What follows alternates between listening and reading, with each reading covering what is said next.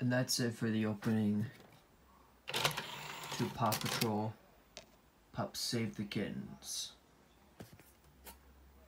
That's it for this video, and bye.